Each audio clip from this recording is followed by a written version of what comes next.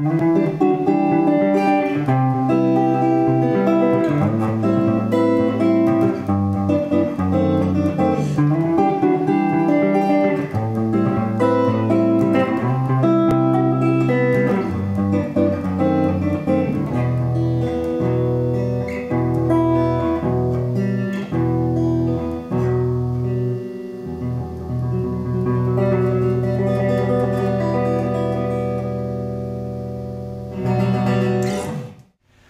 Andrew from Creative Guitar, and this week's guitar question comes to us from Hector out in Cordoba, Argentina.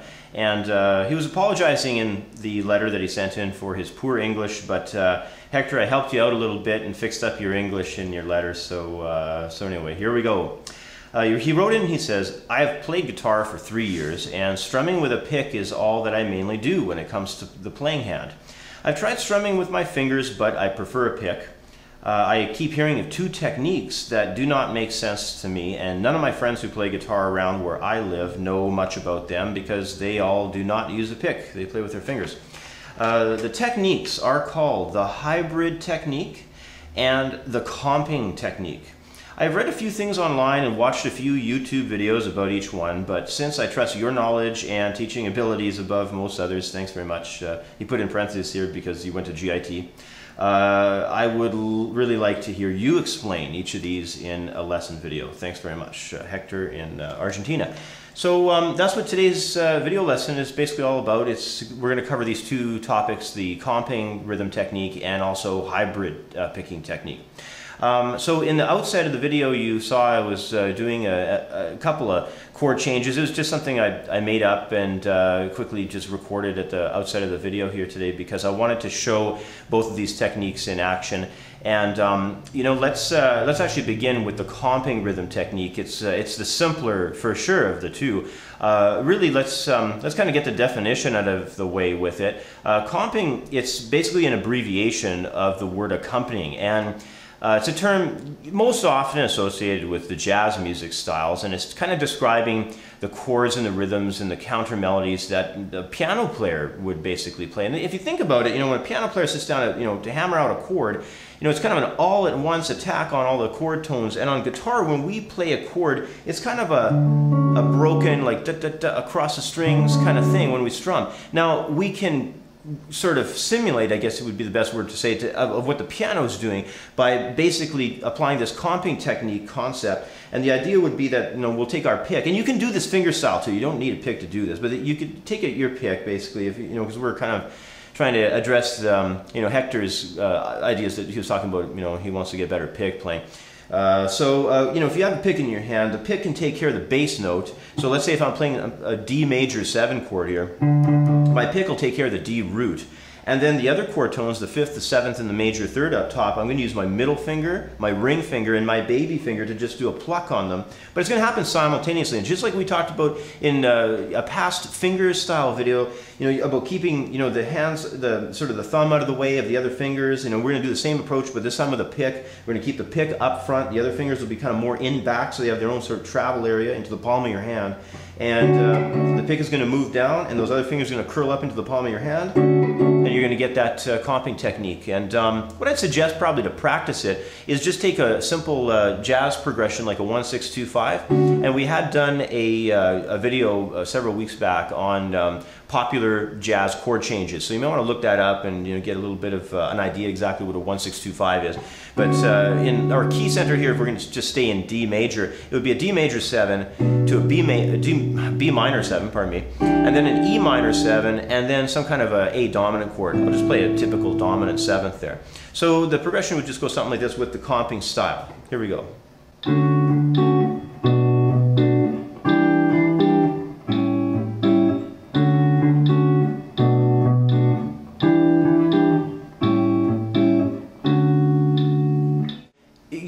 There's not really a lot to that. Hopefully you know those chord changes. If you don't know those chords, gives you something else to study a little bit. Or you could just use some really simple chords, you know, like if you understand your open position chords, like a, you could just use a C, F, and a G chord if you wanted to get started on the technique right away. You know, if your chord knowledge of some of the jazz stuff was a bit weak, just do something like a C major, F, G,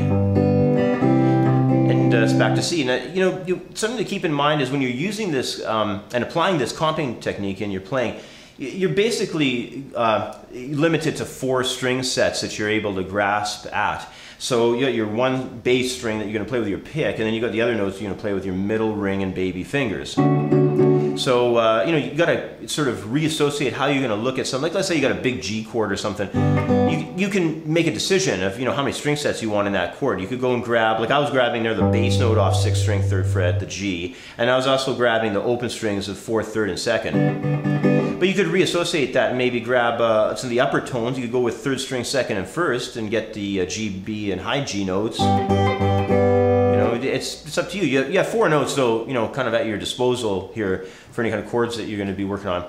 And uh, you just got to keep that in mind as you're going through. Now, the nice thing about the jazz changes, I mean, for the most part, uh, with the seventh quality chords, and they happen to have four notes, and most all the voicings that we use, uh, they, they sort of target a four note shape for these uh, different major seven, minor seven, dominant sevenths, the uh, minor seven flat fives, the diminished seventh chords. They all are sort of set up like that, where we're, you know, a lot of the voicings on the neck anyway are four note style. So, of course, with the jazz stuff, uh, this particular comping technique idea works out fairly well with it, you know. So just practice that type of an exercise for yourself. Just do that 1, 6, 2, 5 progression.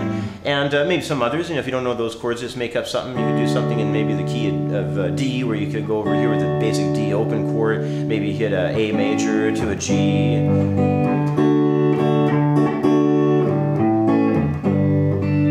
Make up some kind of riff or whatever. But the act of it is, you know, the, the bottom line is you're to have to practice this as a, as a new technique and a new skill.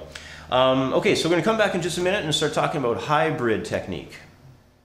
Hybrid picking technique, uh, for me personally, is a style of, uh, of uh, playing you know, rhythm where it's, uh, it's kind of got a twofold idea. I use it with rhythm ideas and I use it with lead ideas. But uh, for me personally, it kind of goes over back to the world of country uh, guitar playing and um, the exposure to, to that that I first had with a, a teacher of mine at GIT named Steve Trovato.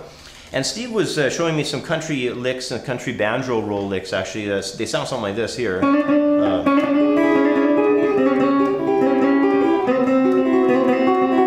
they're kind of an interesting sound. Eh? I'll slow that down for you, though. It goes like this.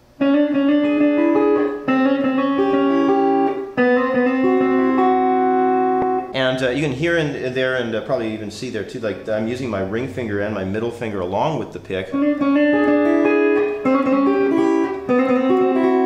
Just doing it very quickly, you know.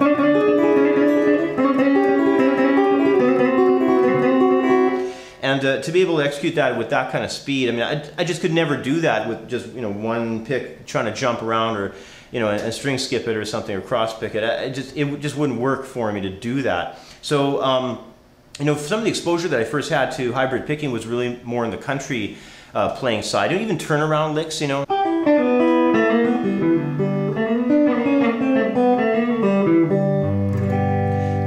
That, you know, where you're playing a couple of notes, and then you're using, you know, with a pick, and then you're using your middle finger to, you know, get, grab another string. or something like that.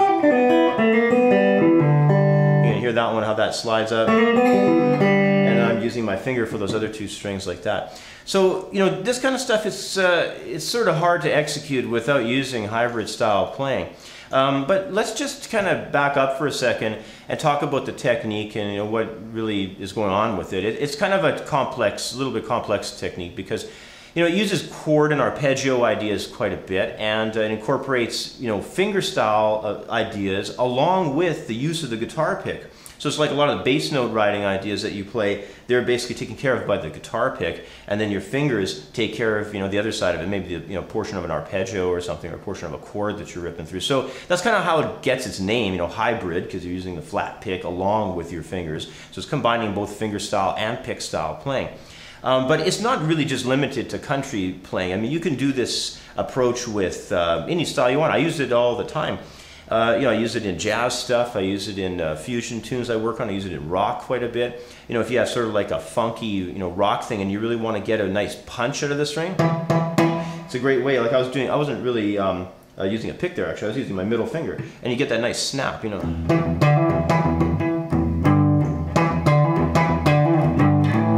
Can see there. I mean, that's I, can't get that kind of snap tone out of the string unless I was, you know, grabbing. I'm literally grabbing at it with my finger and snapping at it, you know, just sort of pulling it away from the face of the, the body of the guitar. So, and that's and when it snaps back, that's how you get that sort of funky sound. It works really cool as well for uh, lines. Like if you're you're doing, um, I really like it with pedal point style lines where I'll take one note, and then from that one note, I'll kind of uh, I'll play that one with my pick consistently, and then I'll pedal around some other tones. I'll just use some pentatonic tones here to demonstrate this. You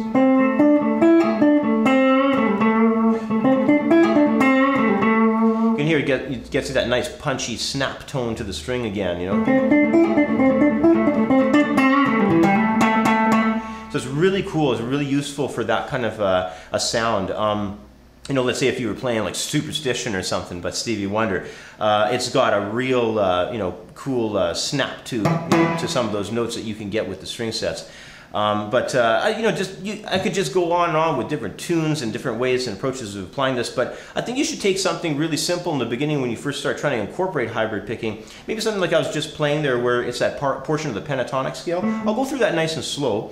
And uh, it's just basically, I'm, I'm grabbing that uh, fourth string A note on the seventh fret. So I'm doing that with my pick, and then I'm using my fingers to take care of the other notes.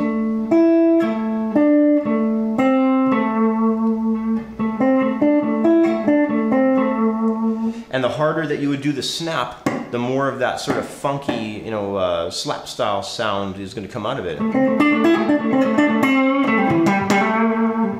So um, very, really neat, you know, very neat stuff, really fun stuff to practice. And uh, as, soon as you start getting into your playing, which doesn't really take a long time, as soon as it gets into there, though, it's uh, it's fairly easy to just uh, you know burn it out whenever you need it.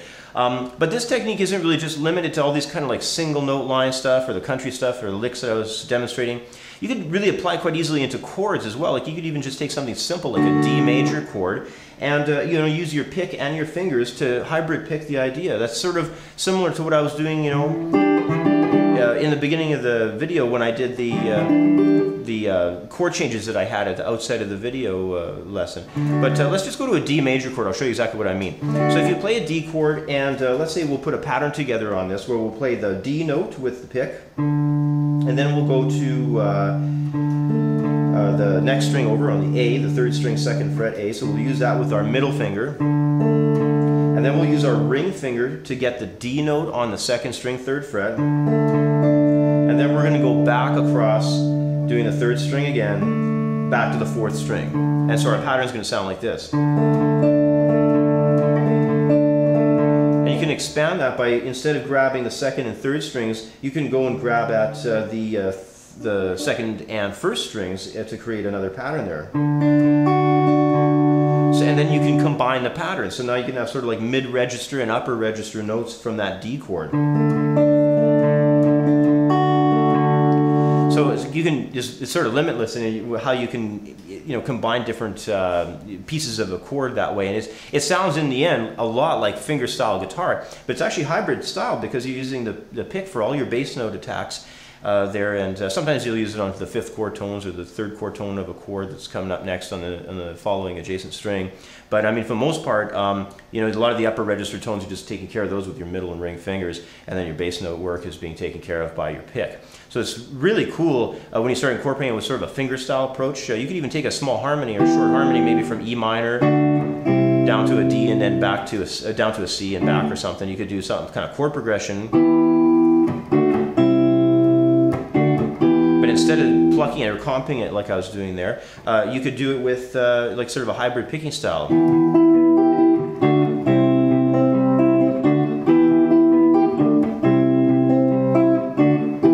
So now I'm combining both comping technique with hybrid picking technique to do uh, sort of finger style based run.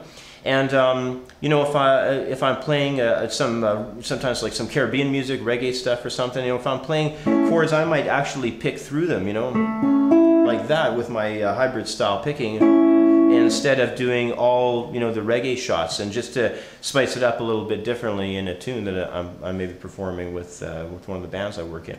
So you can you can see how there's a lot of application routes that you can take once you get these two uh, techniques down, and you're probably also starting to notice with some of my demonstrations and uh, explanations of hybrid picking that you can very quickly and easily, you know, combine them with the use of comping techniques. So you these start becoming sort of melded together, and uh, and they're just molded into being sort of one big ball of wax when it comes to the rhythm applications that they they could possess. So. Um, one thing I'll, I'll just address quickly before we wrap up, though, is just uh, fingernail length. Um, I myself, I mean, I don't have very long fingernails at all. I mean, I, I, just, I don't really like having long fingernails. It sort of bugs me. But uh, you know, I, I, I play a lot of fingerstyle and a lot of classical stuff. Uh, I think I mentioned before in other videos. I do quite a few weddings and banquets and so forth with the acoustic there. So um, you know that's a, I, I still do a lot of that style, but I just don't really have much for fingernails. I know some people really like having longer fingernails, but uh, it's just uh, it's not something that I, I really want. So um, you know I've kind of learned how to have smaller, shorter fingernails and still do these techniques fairly well. Now you have you have to have a little bit of a, a nail there so you can grab at the string, especially if you want to get that sort of pop sound out of the guitar string like that. Um, you do need to have a bit of a fingernail to be able to grab that there. So uh, you know just they don't have to be very long is what I'm getting at. Um, okay, I think that's pretty much about it. Uh, I, I, guess uh, you know you can go and take some of those exercises that I showed you to uh, to try and get some hybrid picking into your playing, and um, maybe try some of the one six two five work that we were talking about and getting the uh, comping technique into your playing. And um, you know, just apply that stuff and try and start using it as much as you can. Uh, it sometimes requires quite a lot of work uh, to be able to develop the uh, the various uh, hybrid or comping style techniques into your playing. So, you know, maybe watch a TV show or, you know, watch your favorite sporting event on, on TV and just sit there with the guitar in your lap and, and just repeatedly work through some of these exercises and uh, it will come. It does take too long. Uh, the hybrid picking technique being a little bit more challenging, of course, than the uh, comping technique. So uh, anyway, thanks a lot for the question, Hector. Appreciate it, and uh, hopefully, uh, you know, my explanation has helped you out and others out as well. And until next time, just take it easy, keep practicing, and uh, we'll see you on the next video. Bye for now.